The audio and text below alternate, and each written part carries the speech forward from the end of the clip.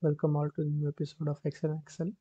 And today we are going to learn how to use the function of flash fill. So many a times we got to into a situation wherein we have to divide a particular name into the first name and the last name. And usually what we do is that write the name and then their title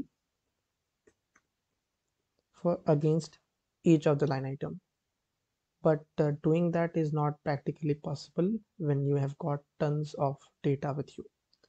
So for doing that we use the formula of flash fill.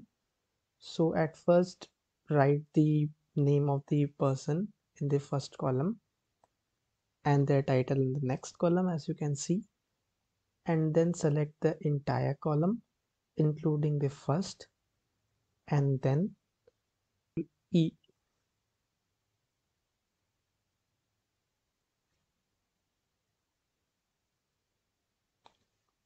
do the same thing with the title column.